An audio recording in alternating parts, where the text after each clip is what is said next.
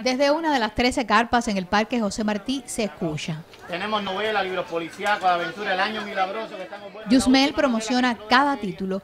No en balde le reconocen su experiencia como uno de los mejores vendedores de libros en Cienfuegos. Hoy pone todo su énfasis en los textos a disposición en la trigésima edición de la Feria del Libro. Tenemos aproximadamente más de 400 eh, títulos y más de 19 mil eh, unidades físicas. Eso es de producción nacional.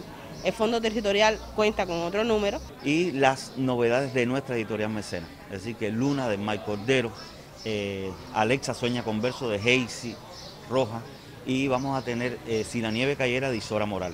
Y en el espacio infantil de Parampampín eh, vamos a tener un debate para mejorar cómo entregar los proyectos a las editoriales, desde la estructura y desde la relación del texto y la ilustración.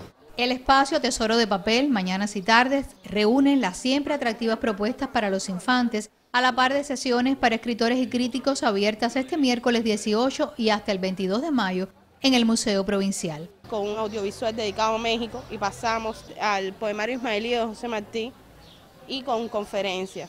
El jueves 19 estaremos hablando de Carit de Oliver, la impronta de Carit en los jóvenes actuales.